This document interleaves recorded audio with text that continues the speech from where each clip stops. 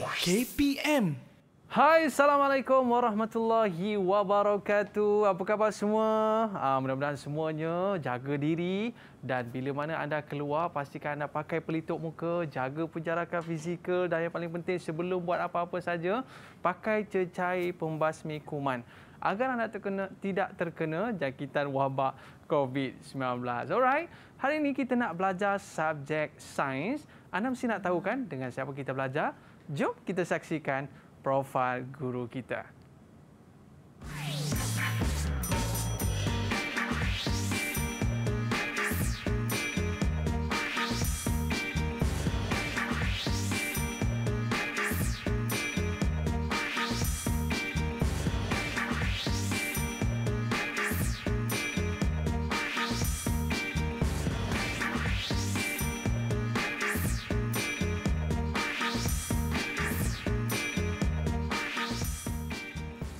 Di studio kita ada Cikgu Rosam. Ah, nama glamour Cikgu Rosam eh? Ya, Ah, betul, tapi yang panjangnya saya. adalah Cikgu Rosam Fal Falti Zulti. Ah, Samiran.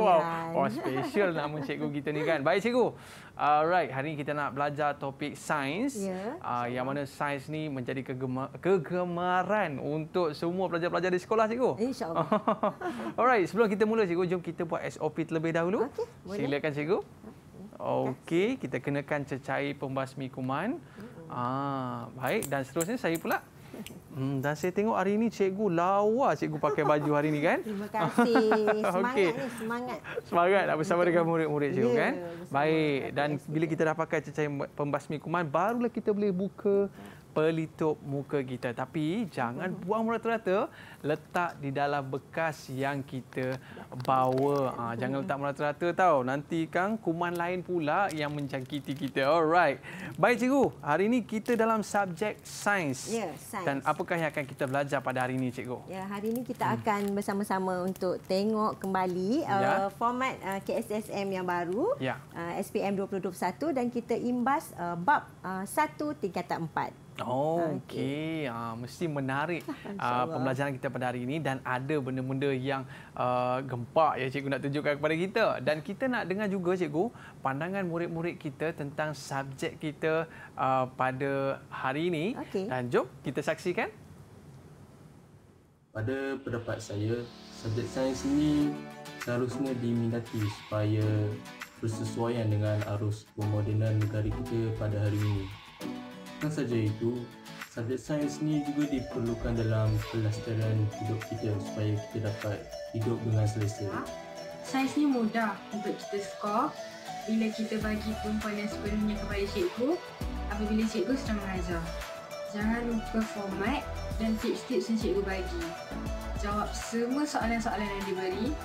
Usaha sampai kita berjaya, okey? Tahun ini kita akan menghadapi SPM 2021. Semoga kita semua peroleh kejayaan yang cemerlang. Sudah tentunya sains kita mestilah A+. Semoga keputusan kita dapat membanggakan ibu bapa, keluarga, cikgu-cikgu dan menaikkan nama sekolah. InsyaAllah, sains A+. Alright, kembali dalam Road to Success SPM 2021. Okey cikgu, saya dulu waktu sekolah cikgu kan, saya cukup meminati subjek sains. Sebab apa cikgu boleh tanam pokok? Di antara benda ah, boleh tanam pokok. Ah, tak tahulah. Tapi cikgu, lepas dua hari mati pokok tu. Okey cikgu, mungkin hari ini uh, kita ada nak belajar sesuatu daripada cikgu, tapi cikgu adakah subjek ni senang ataupun susah um, dalam banyak-banyak subjek ni lah cikgu? Oh dia pada pendapat saya kalau kita nak sesuatu kejayaan kita Mhm. mesti ada tips-tips dia kan. Oh. Jadi ikut tips, ikut format yang diberi, fokus masa belajar insya-Allah kejayaan milik semua. Hmm, baik cikgu, kita pun dah bersedia dah murid-murid kita di rumah nak menyertai kelas kita pada hari ini cikgu. Boleh kita berkenalan dengan mereka cikgu? Ah boleh. Okey, yang pertama sekali siapa ni cikgu? Marsha, boleh kenalkan diri anda? Uh, boleh. Okey, silakan. Nama, nama saya Nur Mhm. Marsha Ah. Iwana binti Abdul Rahim. Okey. Dari kelas 5 Al-Razi. Oh. Ah, seterusnya, kita nak persilakan Aina untuk perkenalkan diri. Nama saya Nur Aina Natasha binti Hamzah. Mhm. Saya dari kelas 5 Al-Razi juga. Wow, okey dan seterusnya Nazmi. Silakan Azmi. Nama saya Muhammad Nazmi bin Muhammad Nawawi dari kelas 5 RS. Okey, dan seterusnya kita ada Iman, Haziq Iman di sini. Silakan.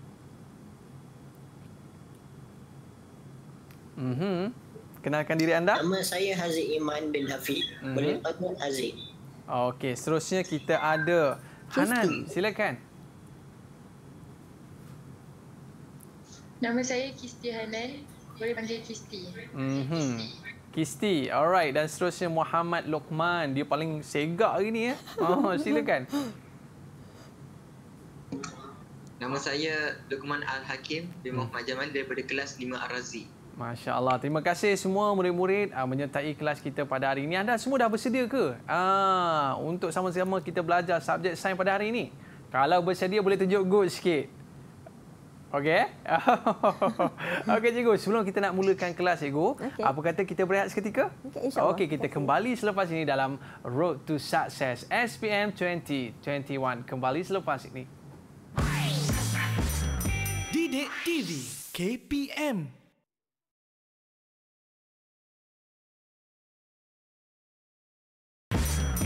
Didik TV KPM Road to Success SPM 2021. Hari ini kita bersama dengan uh, Cikgu Rosam dalam Ya. subjek kita pada hari ini Sains SPM 2021. Ah, apa apa kata murid-murid? Adakah anda dah bersedia dah ni? Ah, sekali lagi tunjuk thumbs up. Ah, tunjuk good. Oh, okey. Oh, nampak ceria dan semangat murid-murid kita pada hari ini. Okey, cikgu, si- dipersilakan untuk mulakan kelas Okey. kita. Terima kasih. Uh, saya mulakan kelas kita pada hari ini. Okay, hari ini saya nak menerangkan tentang format pentaksiran mulai tahun 2021 untuk Sains Kod 1511 berdasarkan KSSM Ya. iaitu Kurikulum Standard Sekolah Menengah. Apa itu matlamat KSSM? KSSM Sains bermatlamat untuk hasilkan murid berliterasi sains dengan memberi pengalaman pembelajaran dalam proses memahami konsep sains, membangunkan kemahiran, menggunakan pelbagai strategi dan mengaplikasikan pengetahuan sains berlandaskan sikap saintifik dan nilai murni serta memahami kesan perkembangan sains dan teknologi dalam masyarakat. Mm-hmm. Okey, di samping itu, murid boleh berkomunikasi dan membuat keputusan berdasarkan bukti saintifik serta menyediakan mereka untuk meneruskan pendidikan lanjutan dan kerjaya dalam bidang STEM. Apa itu STEM? Mhm. Sains, teknologi, engineering dan maths. Oh. Okey. Dan seterusnya kita nak tengok apa elemen aspek yang ditaksir dalam sains SPM KSSM ada sembilan elemen. Okey, kita ada kemahiran proses sains, kemahiran manipulatif, sikap saintifik dan nilai murni, mengingat, memahami, mengaplikasi, menganalisis, menilai dan juga mencipta. Mencipta. Ini adalah elemen yang akan ditaksir. Dan format peperiksaan SPM ada dua iaitu kertas satu objektif, kertas dua subjektif dan mesti merangkumi silibus berdasarkan sains tingkatan 4 dan sains tingkatan 5. Mm-hmm. Okey, kita tengok apa itu format instrumen peperiksaan SPM untuk sains. Kita ada kertas satu, kita ada kertas dua. Dan kedua-dua kertas merupakan ujian bertulis. Dan untuk kertas satu, kita ada uh, soalan objektif aneka pilihan. Manakala kertas dua, subjektif berstruktur, subjektif respon terhad dan subjektif respon terbuka. Dan untuk bilangan soalan, kertas satu kita ada 40 soalan yang membawa kepada 40 markah dan semua jawapan mesti dipilih untuk 40 soalan tersebut. Mhm. Dan kertas dua kita ada bahagian A, bahagian B, bahagian C dan bahagian A membawa markah 20 markah, 4 item. Mesti jawab semua soalan. Bahagian B 38 markah, 6 item, jawab semua soalan juga. Dan bahagian C kita ada 22 markah, satu item 10 markah dan ada dua item untuk 12 markah setiap satu. Cuma pilih satu soalan mm-hmm. untuk uh, antara dua item tersebut. Dan jumlah markah membawa kertas satu 40 markah, kertas dua 80 markah dan tempoh ujian Untuk kertas satu tadi 1 jam 15 minit dan kertas dua 2 jam 30 minit. Mm-hmm. Okey, kita tengok apa yang perlu dipelajari untuk sains tingkatan 4 ni. Ya. Kita ada 12 bab. Okey, untuk tema satu kaedah saintifik, kita ada bab satu. Ya. Langkah keselamatan di dalam makmal. Bab yang kedua, bantuan kecemasan. Bab yang ketiga, teknik mengukur parameter kesihatan badan. Dan kita ada tema yang kedua pula iaitu penyelenggaraan dan kesinambungan hidup. Untuk tema kedua ni kita mulakan dengan bab empat iaitu teknologi hijau dalam kelestarian alam. Kita ada bab yang kelima iaitu genetik dan bab enam sokongan, pergerakan dan pertumbuhan. Bab tujuh koordinasi badan. Okay, dan kita ada tema yang ketiga. Tema ketiga penerokaan unsur dalam alam. Dan bab untuk tema ketiga ni kita ada bab 8 iaitu unsur dan bahan, bab 9 kimia industri, bab 10 kimia dalam perubatan dan kesihatan. Okey, kita ada bab yang ke-11 uh, daya dan gerakan untuk tema 4 tenaga dan kelestarian hidup. Dan kita ada bab yang terakhir bab ke-12 tenaga nuklear. Ya. Ah, Okey, ini adalah bab uh, yang ada dalam sains tingkatan 4. Mm-hmm. Okey, kita tengok apa yang perlu diketahui dipelajari oleh murid untuk sains tingkatan 5. Kita ada 9 bab. Mhm. Okey, tema 1 penyelenggaraan dan kesinambungan hidup. Kita ada bab 1 mikroorganisma, bab 2 nutrisi dan teknologi makanan, bab 3 kelestarian alam sekitar. Dan tema dua pula, kita ada penerokaan unsur dalam alam. Bab empat yang kita akan pelajari iaitu kadar tindak balas. Bab lima, sebatian karbon. Bab enam, elektrokimia. Dan kita ada tema yang ketiga iaitu tenaga dan kelestarian hidup. Mhm. Untuk tema ketiga ni kita perlu pelajari bab tujuh iaitu cahaya dan optik dan bab 8 daya dan tekanan. Tema yang terakhir untuk tingkatan 5, tema 4 penerokaan bumi dan angkasa lepas, kita akan mempelajari bab 9 teknologi angkasa lepas. Maknanya semua uh, topik, semua bab dalam tingkatan 4, dalam tingkatan 5 yang dirangkumi dalam buku teks tu kita perlu tahu, kita perlu faham untuk kita skor A+ Mhm. dalam sains SPM 20 21. Betul cikgu. Ya. Saya paling suka sains ni sebab apa uh, kita ada uh, dengan uh, kita buat uji kaji Ya. dan sebagainya. Yang paling best sekali cikgu uh, dalam bab daya dan dan gerakan. dan gerakan. Ah sebab apa cikgu? Sebab ada lumba kereta.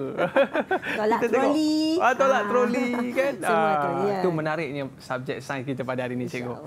Okey, dan kita ah, ini untuk bab satu. Mhm. Ah, kita ada tema satu untuk kaedah saintifik yang perlu kita tengok dalam bab hari ini. Ya. Ah, bab satu langkah keselamatan di dalam makmal.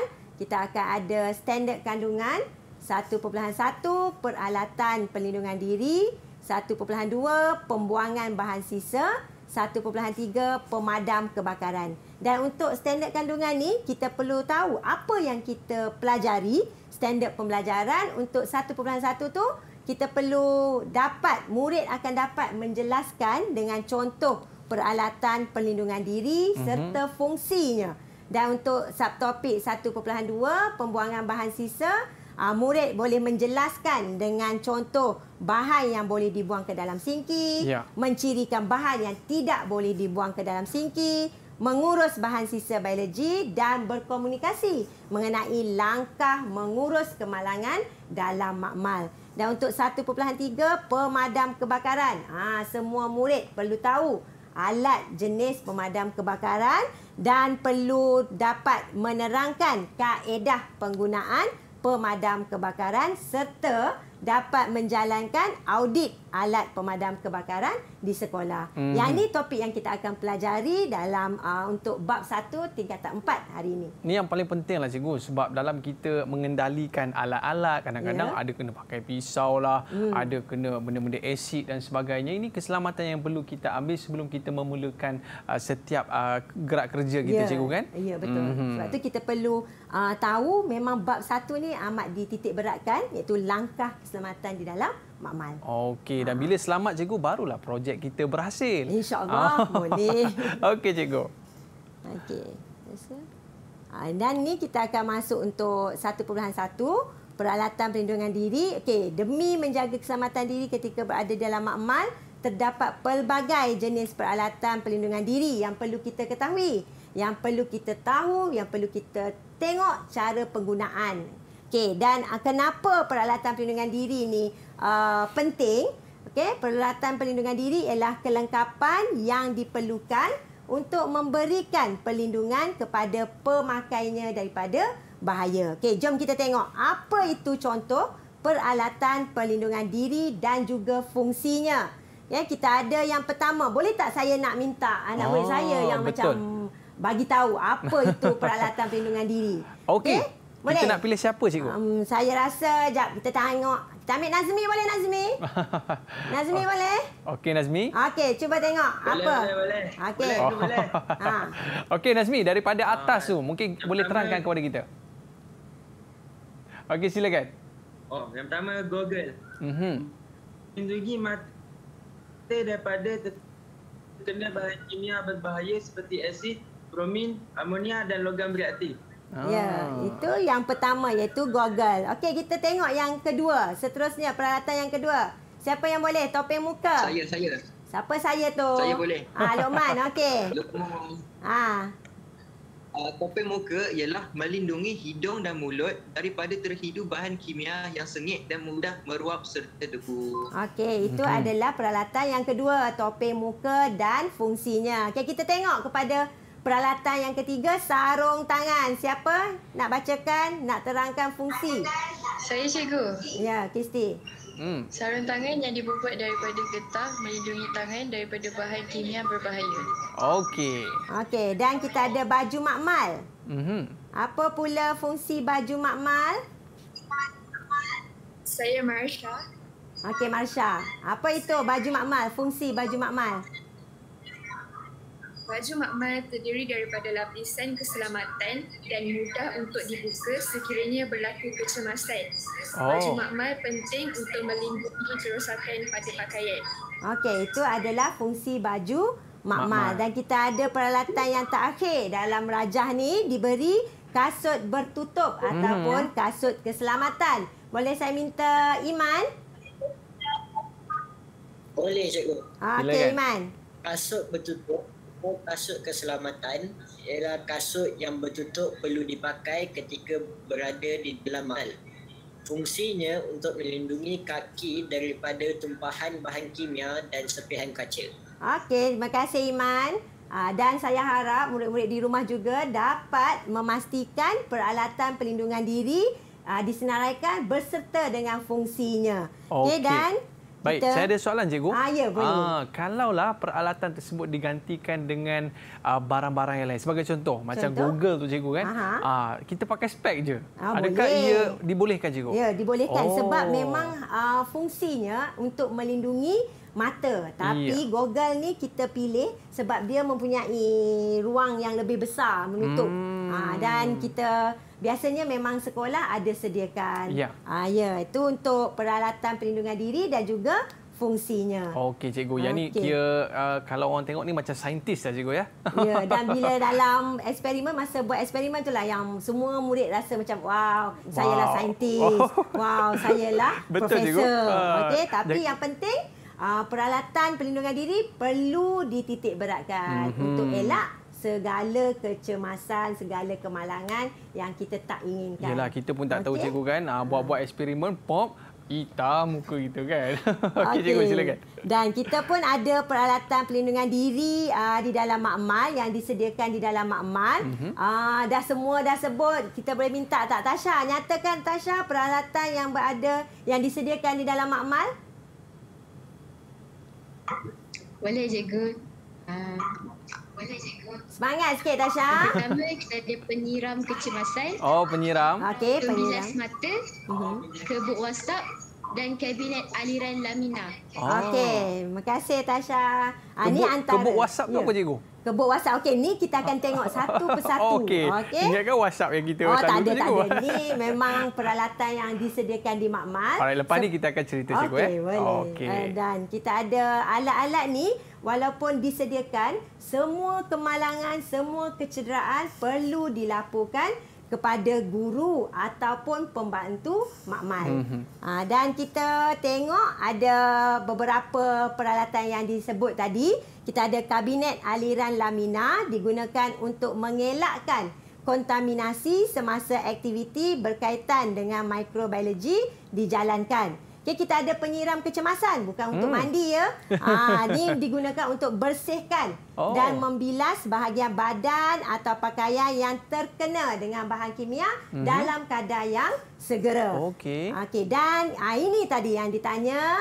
Okey, kebuk WhatsApp. Apa fungsi kebuk WhatsApp? Digunakan untuk menjalankan eksperimen yang menggunakan bahan yang mudah meruap. Okey, mudah terbakar, beracun, mengakis dan juga berbau. Mhm. Dan kita ada peralatan pembilas mata. Oh. Apa fungsinya? Digunakan untuk membilas, mencuci mata yang terkena bahan kimia dengan segera. Mhm. Okey, itu adalah uh, alat-alat Mhm. uh, peralatan yang disediakan di makmal. Okey dan Maknanya kita cikgu uh, ya, kelengkapan dalam makmal ni memang dah lengkap lah. Uh, dan Ya. juga uh, yang seterusnya kita nak menceritakan tentang pembuangan bahan, Bahan sisa. sisa. Tapi Ha. kita berehat seketika boleh cikgu? Boleh. Okey, jangan ke mana-mana murid-murid. Banyak lagi cikgu uh, Rosam nak menceritakan kepada kita. Kita kembali selepas ini. Road to Success SPM 2021. Kembali selepas ini. Didik TV KPM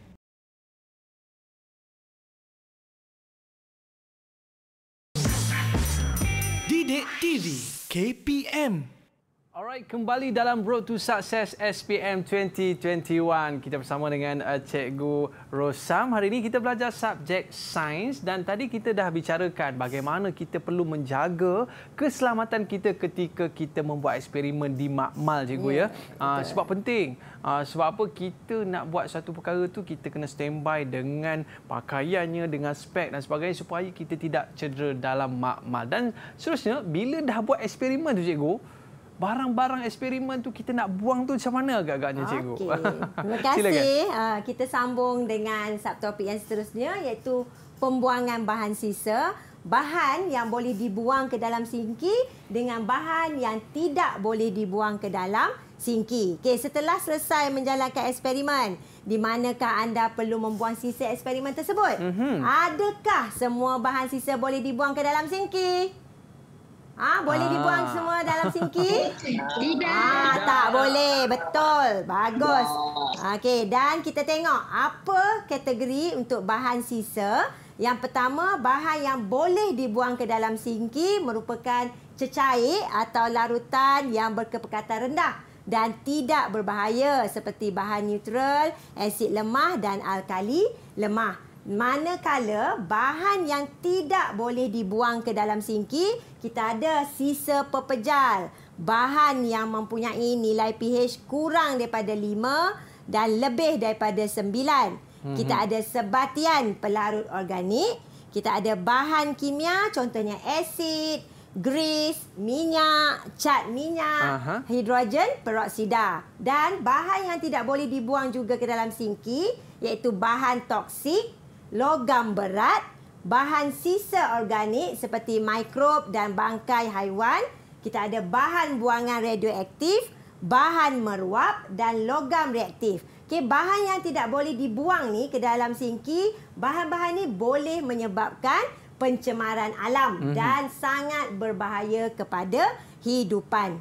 Dan kita tengok macam mana kita nak urus bahan sisa biologi. Okey, bahan sisa biologi merangkumi bahan buangan biologi yang boleh menimbulkan kemudaratan Ya. atau bahaya biologi. Apa contoh bahan sisa biologi ni? Boleh kita minta Semua nyatakan apa contoh bahan sisa biologi. Siapa cikgu kita nak tanya? Ha. Mhm. Boleh. Boleh, boleh. Okey, Okey. cuba nyatakan Nazmi. Apa Nazmi? Apa contoh Nazmi? Kita ada Ah, bahan kumuhan, bahan kumuhan, bahan kumuhan, tisu, tisu, bangkai, bangkai, medium kultur, medium kultur, bekas plastik, okey, kaca. Dan sarung tangan. dan sarung tangan. Ni antara bahan sisa biologi yang kita Mhm. nyatakan. Dan semua ni kita perlu urus dengan bijaksana. Okey, sebab bukan semua bahan sisa biologi boleh dibuang ke dalam sinki ataupun bakul sampah di dalam Ah. makmal. Oh, kalau campak terus tak sampah tak boleh, eh? Hmm, Bahaya, bahaya tu. menimbulkan kemudaratan. Ya, cikgu. Okey, dan bahan sisa biologi ni diuruskan dengan menggunakan prosedur operasi standard, ha, POS. Dan kita tengok apa jadual prosedur operasi standard pelupusan bahan sisa biologi. Okey, kita ada kategori A, kita ada kategori B. Untuk bahan sisa ni contohnya kategori A kita ada peralatan tajam. Apa contoh peralatan tajam? Kita ada picagari, kita ada jarum, kita ada bilah scalpel. Macam mana kita nak uruskan uh, barang-barang yang bahan sisa biologi untuk peralatan tajam ni? Yang pertama, kita masukkan ke dalam bekas Mhm. kas iaitu bekas sisa tajam. Ya. Kita tidak autoclave, kita bekas tu yang disimpan tadi mesti disimpan di tempat yang selamat sebelum dilupuskan. Manakala untuk kategori B iaitu pepejal tidak tajam, ha, contohnya sarung tangan, tisu, medium kultur, cara kita nak uruskan yang pertama bungkus. Masukkan ke dalam beg plastik, Ya. bio bahaya. Kita perlu autoclave dan kita masukkan dalam tong bio bahaya. Mhm. Okey, dan kita ada kategori C. Kategori C kita ada bangkai organ. Apa contoh bangkai organ? Kita ada haiwan makmal, haiwan uji kaji. Contohnya katak, tikus. Macam mana kita nak uruskan? Yang pertama kita balut dalam bahan penyerap. Contohnya kertas tisu. Dibungkus rapi dalam beg plastik dan kita sejuk beku sebelum dilupuskan. Hmm. Okey, manakala untuk kategori D iaitu cecair, contohnya darah, serum, macam mana kita uruskan darah serum ni? Kita nyah kontaminasi secara autoclave. Uh, Dilupuskan secara terus ke dalam sistem kumbahan melalui uh, sinki makmal ataupun tandas. Kita Mhm. tengok macam mana carta alih. Yang pertama sebelum uh, kita nak lupuskan kita mesti asingkan. Okey, lakukan pengasingan sisa di puncanya dengan betul. Maknanya kita kenal pasti bahan sisa tu jenis kategori yang mana. A atau B atau Ya. C ataupun D. Okey, dan kita ada sisa yang dinyah kontaminasi perlu kita masukkan dalam beg bio bahaya supaya sisa yang dibungkus itu kita labelkan, Mhm. kita masukkan ke dalam tong bio bahaya dan tong bio bahaya ni akan disimpan sementara dalam keadaan yang selamat, Mhm. yang terkawal dan disejukkan sebelum pelupusan berpusat dijalankan. Okey dan ini adalah carta alih yang perlu dititik beratkan. Okey. Ah dan uh, bila kita dah tahu macam mana nak urus bahan sisa biologi, kita ada langkah mengurus kemalangan di dalam makmal. Kita Ah. tak nak ni kemalangan berlaku tapi mm-hmm. okey sekiranya Malang tidak berbau, cikgu, ya. ya? malang tidak berbau. Allah itu Maha lebih berkuasa. Okey jadi apa? Kenapa uh, faktor yang boleh menyebabkan kemalangan? Kemalangan ni boleh berlaku disebabkan Mhm. kecuaian. Okey, kelalaian, Mhm. kejadian di luar jangka atau kurangnya Ya. kemahiran pengetahuan dalam pelaksanaan Mhm. eksperimen sains. Jadi kita ada dua contoh tindakan. Yang pertama, uh, tindakan jika bahan kimia tertumpah ke atas meja. Apa yang perlu dilakukan? Okay, yang pertama, segera beritahu guru ataupun pembantu makmal. Mhm. Okey, yang kedua, jadikan kawasan tumpahan tersebut sebagai kawasan larangan. Oh. Yang ketiga, sekat tumpahan ter- tersebut daripada merebak, gunakan pasir untuk membentuk sempadan. Kita Oh. tak nak ni semua murid akan menuju ah, tengok apa tu, apa tu tumpah. Ah, ada yang cuik-cuik ke? Kita tak nak semua tu. Okey? So, empat, kaut tumpahan bahan kimia dan yang kelima buang dengan Selamat. selamat.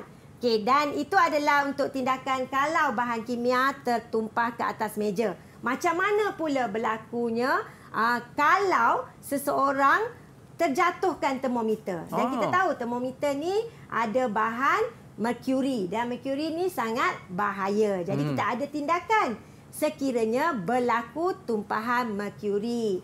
Okey, yang pertama, langkah pertama mesti dengan segera beritahu, lapor, maklum kepada guru ataupun pembantu makmal. Okey, yang kedua, jadikan kawasan tumpahan tersebut sebagai kawasan larangan.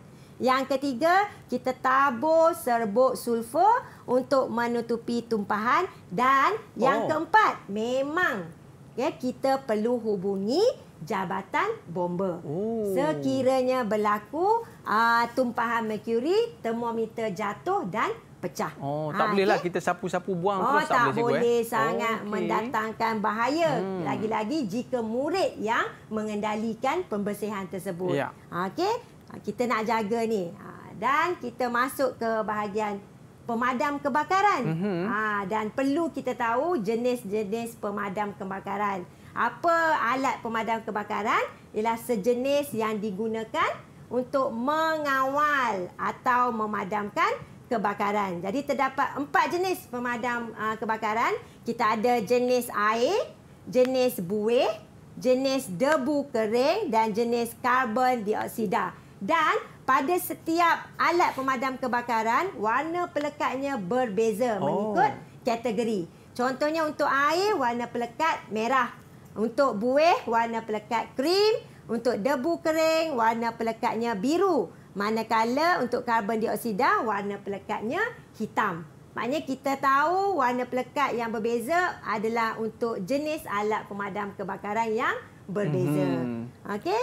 Dan kita tengok kebakaran ni boleh dibahagikan kepada beberapa jenis berdasarkan bahan api yang terbakar. Dan alat pemadam kebakaran ni perlu digunakan berdasarkan punca. Okey, berdasarkan punca kebakaran yang berlaku. Tak boleh kebakaran A kita guna alat pemadam D. Oh. Ha, jadi kena kenal pasti. Maknanya jenis kebakaran kita tengok ada kelas A. Apa yang melibatkan dengan kelas A? Kebakaran melibatkan bahan api mudah terbakar jenis pepejal kecuali logam. Contohnya kayu, kertas, kain, sebarang bahan mudah terbakar kita padamkan dengan alat pemadam jenis air, buih dan juga serbuk kering. Kalau kelas B yang melibatkan jenis cecair contohnya petrol, kerosin, diesel, cat, varnis, kita gunakan buih, serbuk kering dan karbon dioksida. Okey, untuk kelas C iaitu melibatkan gas, kita gunakan serbuk kering, karbon dioksida. Dan kelas D pula bila kebakaran yang melibatkan logam, contohnya magnesium, aluminium, natrium, kalium, kita gunakan alat pemadam kebakaran serbuk kering. Mhm. Dan kelas E kita ada kebakaran yang melibatkan peralatan elektrik. Ha yang ni biasa mungkin berlaku di rumah-rumah. Aha, suri pintas, rumah. Ya. Okay, apa jenisnya yang kita boleh guna alat pemadam? Kita guna serbuk kering dan karbon dioksida. Mhm. Dan yang terakhir jenis kebakaran kelas F iaitu kebakaran melibatkan lemak dan minyak masak. Jenis alat pemadam kebakarannya ialah serbuk kering dan karbon dioksida. Mhm. Ha, ini antara semua uh, jenis yang perlu kita ambil tahu Mhm. uh, untuk bezakan setiap jenis kebakaran dengan jenis alat pemadam kebakaran. Mhm. Biasa Dan cikgu kita- kalau di Ha. rumah cikgu uh, kita biasa berlaku kebakaran macam mana tu cikgu? yang melibatkan elektrik ah, lah biasanya elektrik lah kan? ah, dan Hmm. kebanyakan ah, kes-kes setiap kebakaran berlaku berbeza. Oh, okey. Jadi ah, bomba sangat arif. Sebab tu Oh. dia lebih tahu akan apa jenis kebakaran, Mhm. pemadam kebakaran yang nak digunakan. Hanya kat rumah pun perlu juga ada ya, alat tu ya. kan? Sebab tu Mm-mm. kita ada uh, alat yang selain daripada dinyatakan, kita ada selimut kebakaran. Oh. Ah, dan pasir juga boleh kita gunakan untuk padam kebakaran awal dan juga air. Air pun biasa kita gunakan untuk memadam kebakaran kecuali kebakaran yang berpunca daripada minyak. Ha, ini antara alat yang digunakan. Mhm. Ha, dan macam mana bila kita dah tahu jenis pemadam kebakaran, kita tahu kaedah kaedah penggunaan pemadam kebakaran. Yang pertama, kita perlu tanggalkan pin keselamatan daripada pemadam kebakaran. Dan mesti pastikan alat pemadam kebakaran tu ditegakkan. Ya. Ha, okey. Dan yang kedua kita hala muncung alat pemadam kebakaran Aha. ke pangkal api. Dan yang penting jarak juga perlu jaga antara kita dengan sumber api ha, sekurang-kurangnya 2.0 hingga 2.5 meter. Mhm. Dan tekan pemicit atas alat pemadam, ratakan semburan ke seluruh sumber api dengan menggerakkan muncungnya dari sisi ke sisi. Mhm. Maknanya dari sisi ke sisi, kanan ke kiri. Okey, itu adalah kaedah penggunaan pemadam kebakaran. Okey, Dan baik. Uh, di Mm-mm. sekolah juga Ya. murid-murid perlu uh, tahu macam mana untuk melakukan audit. Mhm. Ah, okey, melakukan audit alat pemadam kebakaran di sekolah. Maknanya murid-murid perlu tengok alat pemadam yang ada di sekolah, tarikh luputnya. Ya. Ah, okey, yang kedua, bilangan pemadam kebakaran mengikut jenis yang ada di sekolah. Ha, yang ketiga, jenis pemadam kebakaran itu sendiri sama ada air, okey, karbon dioksida dan Mhm. juga yang keempat, murid perlu tahu lokasi alat pemadam kebakaran dalam pelan laluan kecemasan sekolah. Hmm, baik Ah, cikgu, kita nak tanya penting. Lokman boleh cikgu? Boleh, Ah, Lokman. Lokman. Kalaulah nauzubillah lah cikgu kan berlaku kebakaran uh, di Makmal ni uh, Lokman agak-agak first sekali apalah yang Lokman nak buat agak-agaknya. Ha, Ha. cikgu dah ajar dah tu. Ha, sempat tak agak-agaknya ya? Apa?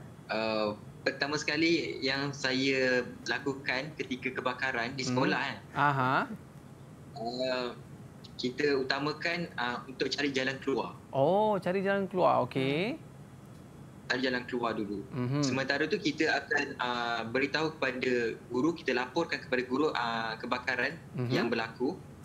Kemudian kita terus bergegas keluar ikut uh, jalan apa petunjuk arah keluar. Pelan. Aha.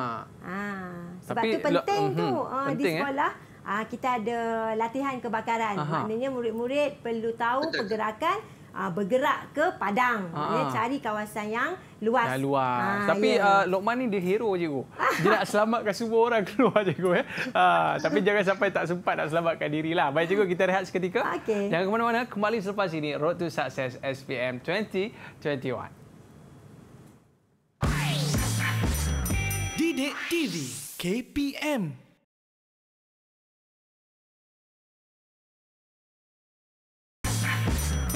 Didik TV KPM Alright, kembali dalam Road to Success SPM 2021.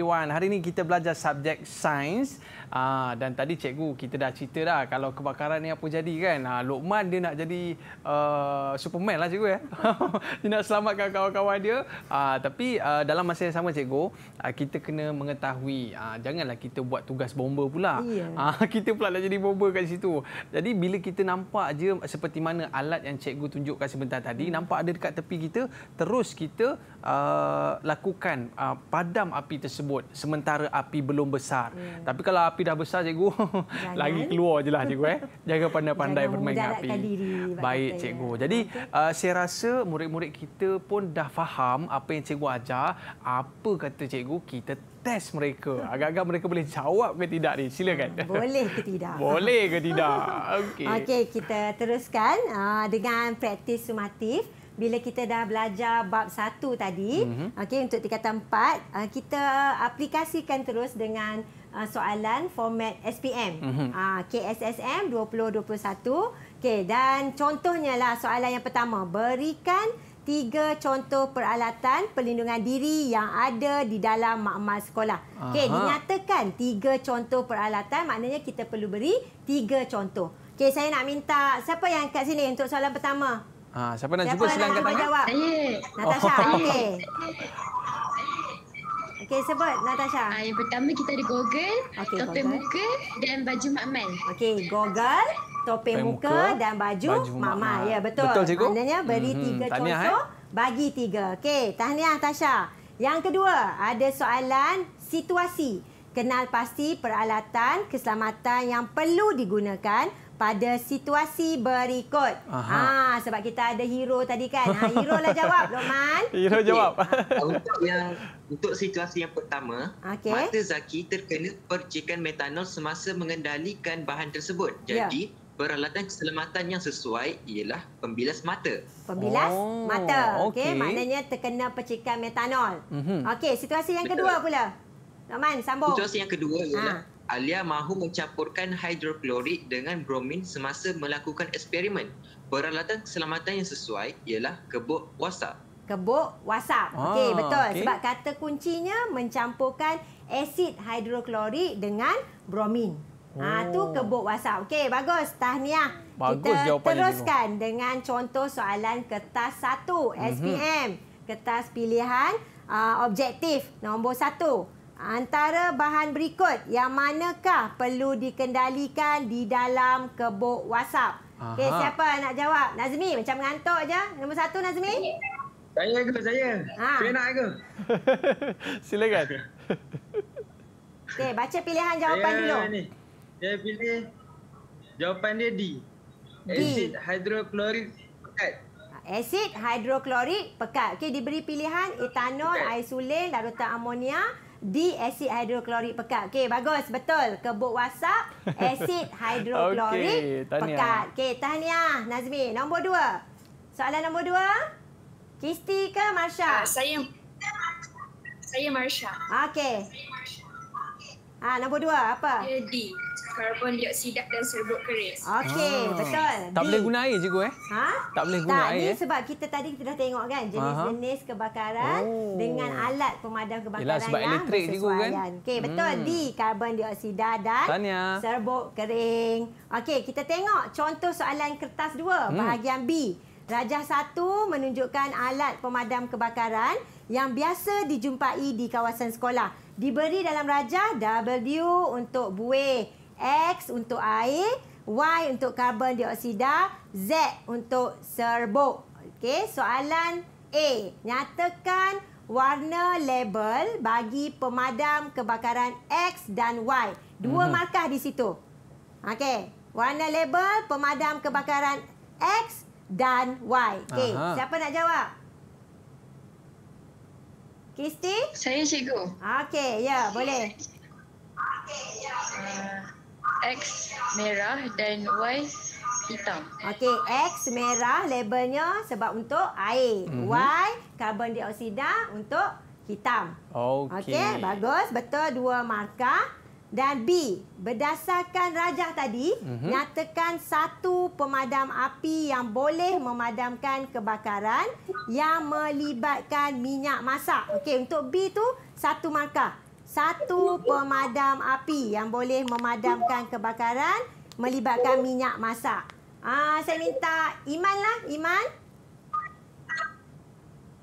Boleh cikgu. Ah, Jawapan dia uh, Y dan Z. Y Tapi dan Z. sebab dia minta satu, ah. saya pilih Y.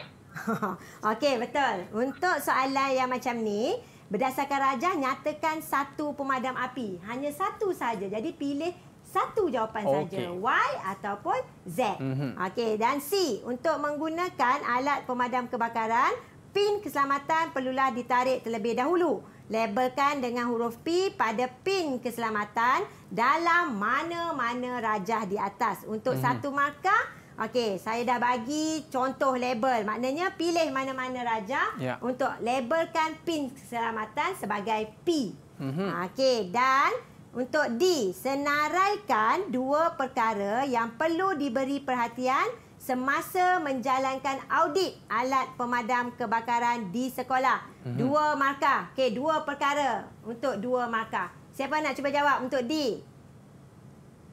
Okey, silakan. Saya ke saya? Ah, Mhm. Nazmi lagi. Okey. Bagus Nazmi ni. Ah, Nazmi? Okey. Dua perkara yang perlu diberi perhatian semasa menjalankan audit alat pemadam kebakaran di sekolah ialah tarikh luput dan jenis pemadam kebakaran. Ya, betul. Okey, dua perkara. Antara jawapan boleh diberi tarikh luput dan yang kedua jenis pemadam kebakaran. Ya, betul. Dua markah. Ha, semua markah penuh ni. A plus dalam tangan. A plus ni. InsyaAllah.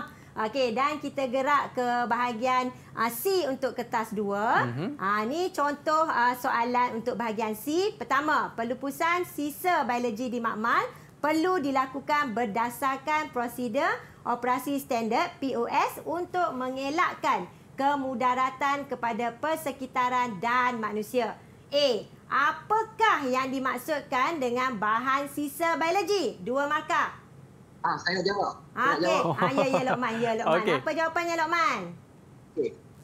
Bahan apakah sisa dimaksudkan dengan bahan sisa biologi? Ha. Ah, jawapan dia adalah bahan sisa biologi ialah bahan buangan biologi yang boleh menimbulkan kemudaratan atau bahaya biologi seperti picagari, medium ketel, bangkai haiwan, darah, tisu, bekas plastik, kaca, sarung tangan dan bahan kumuhan. Amboi, Oi. lengkap. Ha, betul. Dua markah tepat. Tahniah Lokman. Ha, tu yang dimaksudkan dengan bahan sisa biologi.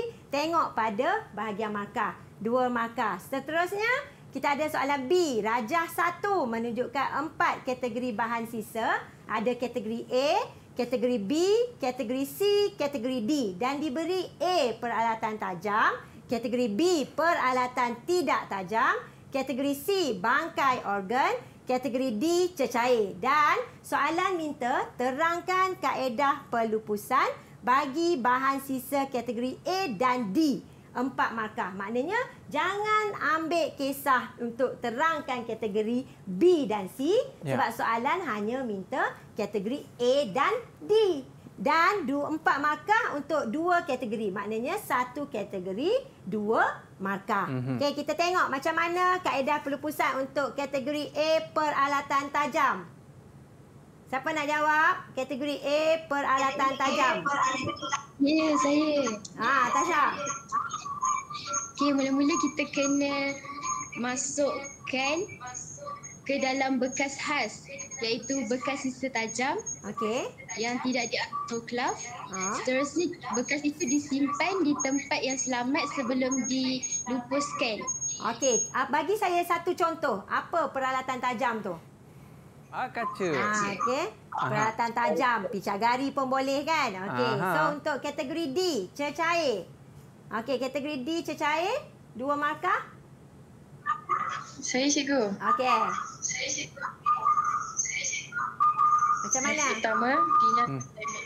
dinyah kontaminasi secara autoklav. Seterusnya dilupuskan secara terus ke dalam sistem pembuahan melalui sinki makmal atau tandas.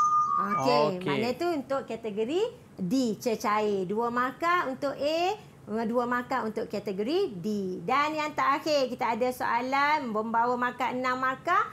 Huraikan kesan pembuangan bahan sisa biologi yang tidak terurus kepada manusia dan persekitaran. Enam markah bila diterang tentang huraikan, Mhm. maknanya sekurang-kurangnya kita ada tiga isi. Jadi setiap uh, isi perlu dihuraikan. Okey, untuk kesan pembuangan yang pertama. Siapa boleh jawab? Haziq, Iman. Boleh cikgu. Okey, cuba bagi Ah, bagi- satu. Ia boleh mendatangkan bahaya kepada manusia. Contohnya, peralatan tajam seperti jarum dan bilah skalpel boleh menyebabkan kecederaan serius sekiranya terpijak. Okey, betul. Maknanya kesan pembuangan yang pertama boleh mendatangkan bahaya jika ada peralatan tajam tu terpijak. Maknanya bagi kemudaratan. Okey, yang kedua, kesan yang kedua. Kesan yang kedua? Saya nak jawab. Okey, cuba Tasha yang kedua. Okey, menyebabkan penularan penyakit berbahaya.